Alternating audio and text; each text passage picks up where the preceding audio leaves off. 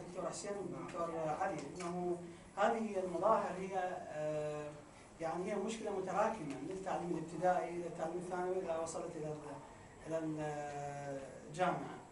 وهي مشكلة المؤسسات التربوية اللي هي أساسا أصبح عملها مركب يعني تربية وتعليم بدرجه الأساس.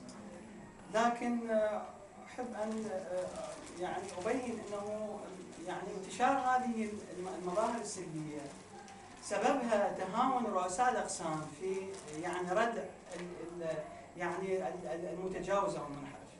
يعني هناك رؤساء أقسام يعني يا اما هو لا يمتلك القيادة آه، يعني أو غير مؤهل قياديا أن يكون رئيس قسم أو هو خائف يعني خائف على منصبه خائف من الطالب إنه ممكن أن يشتكي عليه على يعني في عماده الكليه المسألة هي أساسا يعني يعني أحد اسبابها أنه تهاون رؤساء الأقسام في ردع الإجراءات يعني الطالب المتجاوز إذا لم لم يردع فهذا يصبح نموذج للآخرين يقتدي بالاخرين ويشجع الآخرين في هذه المسألة.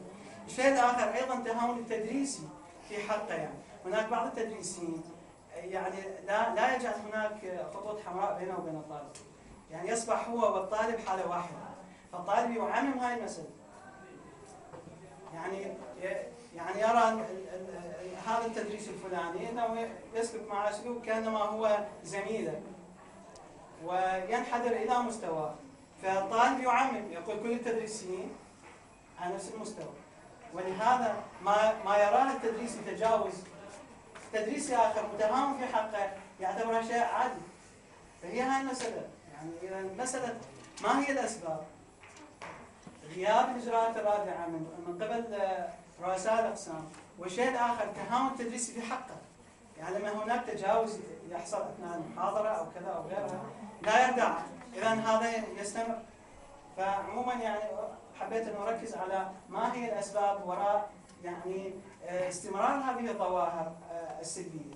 السبب إنه آه، ليس هناك إجراءات رادعة من رؤساء الاقسام و, و